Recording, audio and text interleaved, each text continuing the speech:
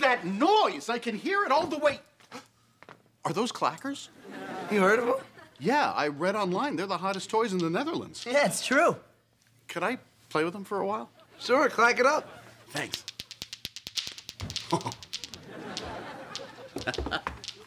hey, Megan, want to watch me clack? No, Walter. Okay, stand here. You here. I hope that's not elastic. I'm measuring. What are you... Ma- Hey, what, what are you doing? Um, what are you guys doing on Saturday night? Going to a concert at the Megadome? What? Because we bought tickets. Not you! Why do you want to know what we're doing Saturday night? I don't care what you're doing.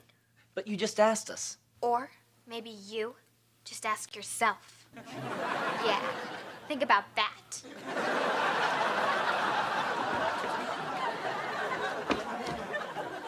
Okay, I want to know what her deal is. Yeah, yeah, yeah. She's up to something. Yeah, first she hangs up the phone, pretends to not be talking to anybody. And then she measures our necks and asks of our social plans. Uh, wait. She said we asked ourselves about that. Really, you're not a smart boy. Whatever, all right? All I know is when Megan sneaks around, badness is a coming. A coming. We need to find out what's going on with her. Yeah, well, we're gonna find out.